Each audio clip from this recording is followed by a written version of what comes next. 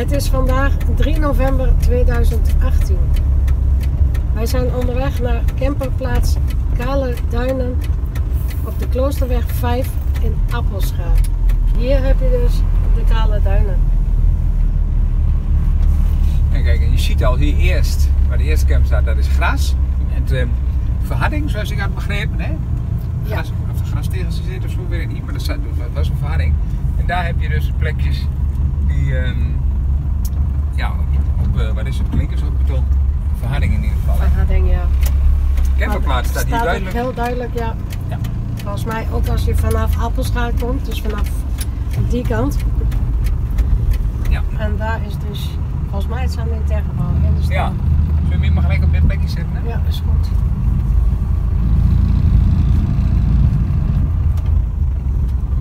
Nou, Ik zei net, het is november en er staan hier dus gewoon drie, hè?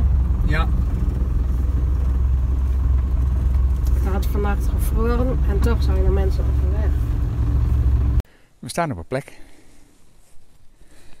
Hiervoor dan hebben we hem maar neergezet. Belemmeren we het uitzicht niet voor de mensen die die kant op willen kijken. Daar. Nou, jullie hebben denk ik al gezien toen we hier opreden. En dan heb je daar dus eh, plek voor je grijs water. En hier heb je drinkwater. Staat duidelijk aangegeven. Drinkwater. Even kijken, wat is dat? Ja, warm en koud water. De afwasplek. En hier om je chemisch toilet te legen. En te spoelen met die slang. Een, een van de opmerkingen op campercontact werd gezegd niet de groene slang gebruiken. Maar staat ook al op. Geen drinkwater. Zie je?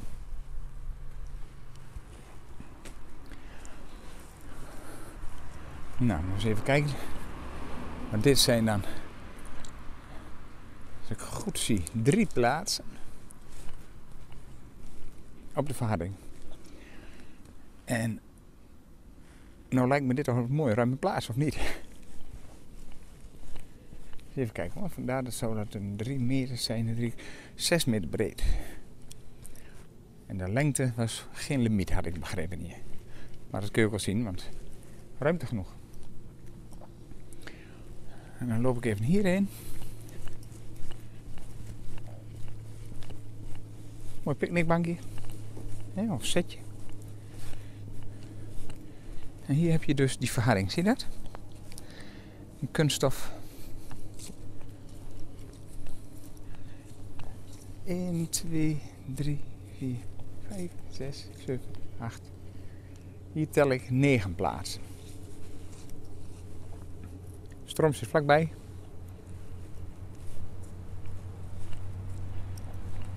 En er wordt gezegd dat de weg wel de waai geeft. Dit is de eerste auto, of dit zijn de eerste auto's die ik hier zie rijden. Dus het was de hele tijd eh, mooi rustig. En nou is het ook weer rustig natuurlijk, hè? Nou ze, nou voorbij zijn.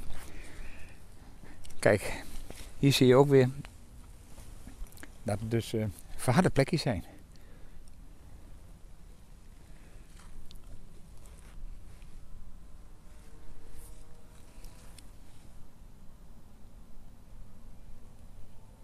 Ik hoorde net zelf nog even de vogeltjes. Daar heb je ook een mooi uitzicht. Als je hier zo staat.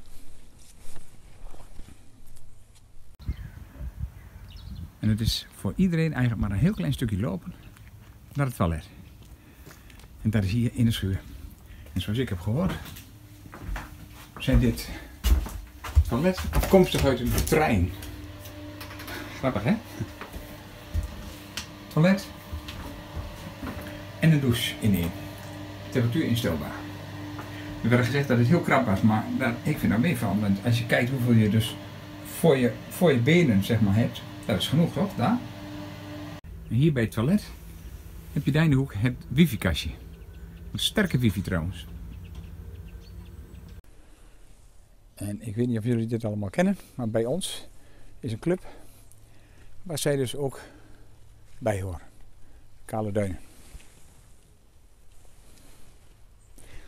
En daar staat dus Kloosterweg 5 Elslo. Zie je dat?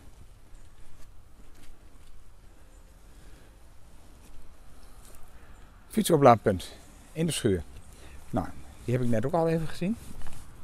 En dat is hier om de hoek. Waar je ook een container hebt staan. Voor je afval en je papier. Als je dan hier naar binnen gaat. Dan heb je hier dus je even fietsenstalling, zeg maar. En waar je hier de fietsen neer kunt zetten, heb je ook nog een wasrekje. Voor algemeen gebruik. Met wasknijpers. En de betaling gaat via envelopsysteem. Die zit hier achter. En die envelop die doe je dan hier in de brievenbus. Hier nog even de kaart. Daar zijn we. En hier heb je Nationaal Park Drens Friese Wold. Wold staat. Dus we gaan straks nog een mooi stukje fietsen. Even kijken hoe mooi het hier is in de omgeving. Als je vanaf Appelscha komt, dan zie je dus gelijk dat hier dus camperplaats Kale Duinen zit. Nou, daar nog een campertje op de boom. En daar nog dat bord camperplaats.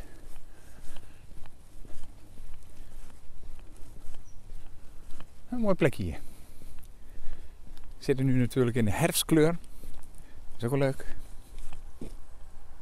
Ik weet niet of het te lezen is, maar het gaat om een werkkamp de Langweer. De Landweer. Dat was een, een werkkamp in de Tweede Wereldoorlog. Aan de overkant van de weg is een fietspad. En daar hebben we een route gepakt, nummer 86. Even kijken, dat is hier. En daar is de camperplaats. Dus zijn we zo gefietst, huppakee, naar 86. En dan gaan we naar een meertje en dat heet... Canada. Canada. Oh, Canada. ja, we gaan naar Canada. En dat is die kant op. Dat is niet meer een betonpad, maar dat is een... eh, ja, het is wel verhard. Een soort schelpenpad lijkt het. Het Canadameer.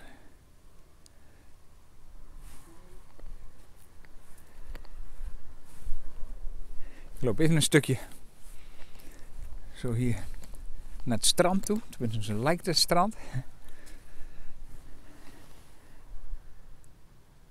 Moet eens kijken hoe mooi. Prachtig zo met die herfstkleuren, hè? En dan is die ook zo rustig. Spartelvijven voor honden en paarden. Eens kijken. Nou, moet eens kijken wat een mooie spartelvijven. En ik weet wel wie hier helemaal stapel gek van is.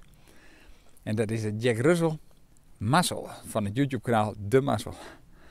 Nou, als die hier is. Alleen staat wel een beetje weinig water in trouwens. Maar dat komt door de droogte hè, van, van de zomer. Maar wel een mooi plekje hoor.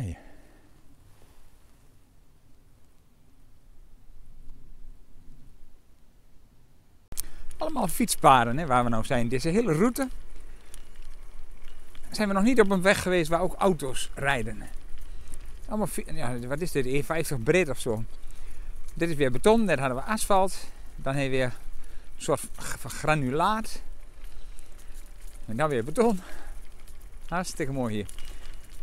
Moet je kijken, een, hoop bomen zijn hier gekapt. Onvoorstelbaar. Prachtig. Het blijft me hier verbazen. Zo mooi als dit is. Ik sta net nog te denken, als er een camper niet hadden gehad, waren we hier misschien nooit geweest. Overal schaapjes. Het hele gebied kom je overal schaapjes tegen. En hier heb je weer een groot meer. Prachtig. Nou mensen, dit is echt de moeite waard om hier eens even te fietsen. Als je de fiets bij hebt. Heerlijk. Maar daar zie ik ook nog een uitkijktoren. En dan gaan we zo eens even inklimmen. Volgens mij zijn we nou op het Ekingerzand. Tenminste, dat staat op dit bord. En dat is vlak bij de uitkijktoren. Ik ben boven. Moet eens kijken wat een mooi uitzicht hier. Dit lijkt toch echt wel duinen daar, hè? Zie je dat? Geer kwam ook achter me aan. Maar ik zie haar nog niet. Dus ik weet niet of ze de hele klim afmaakt. Omdat ze het heeft opgegeven. Jongen, jongen, wat is mooi hier. Of had ik dat al gezegd? En nu zijn we binnen in het buitencentrum. Van alles te kopen hier.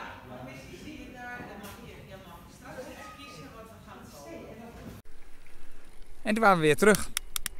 En dan hebben we een heel klein stukje gehad waar ook auto's reden. En dat was bij dat buitencentrum. Maar voor de rest, in en op fietspad. Van deze breedte. Mooi hè? Dat zo'n fietsroute gewoon aan de overkant van de campingplaats begint.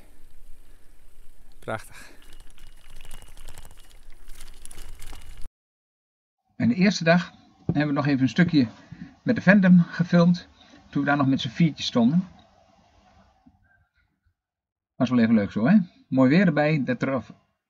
En de tweede dag waren die andere drie weg. En toen kwam net een, eh, een camper weer aanrijden. En je ziet, die gaat gelijk op het mooiste plekje staan. Dit is het mooiste plekje. Mooi uitzicht, heel brede plek. En dan gaan we even verder naar achteren. Maar dat is ook wel even mooi om te vertellen. Er wordt gezegd dat er veel lawaai is van de weg. Maar hier achter deze wit-rode schuur, daar komen ook camperplaatsen. Daar zijn ze nu druk bezig. En als je dan helemaal rechts kijkt, dan wordt allemaal opgeruimd. Dat wordt allemaal netjes aangelegd. Dan kun je daar staan. Dan sta je ver van de weg af. En uh, nou, tegen de bosrand aan. Dat is nog niet verkeerd, toch? Dat vertelden ze ons in de interview die je morgen kunt zien. Kijk eens, mooie zonsondergang.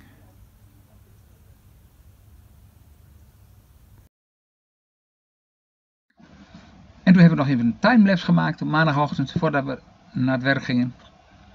Of aan het werk gingen, kan ik beter zeggen. En het is jammer dat de zon niet scheen, maar het was wel even leuk om dit te zien, toch? Um, fietsen erin, stempeltjes eronder weg. Ik moest hem even laten zaken natuurlijk. De boel even opruimen binnenin. En dan uh, gaan we die kant op. En wij komen hier zeker weer. Sowieso wanneer dat daar achter de schuur klaar is. Dan zie je ons weer en dan gaan we dat ook filmen.